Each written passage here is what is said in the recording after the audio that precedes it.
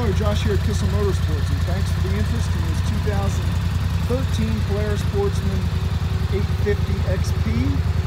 Uh, this quad has 1,275 miles on it, brand new Kenda tires, rear box, front toolbox, heated grips, brand new winch, new brakes. We've thoroughly gone over this, done a mechanical inspection. It's in excellent mechanical condition. Uh, plastics have some scuffs on them, but overall, very nice unit. Uh, the front toolbox has a couple cracks here in the cover, but it still closes correctly.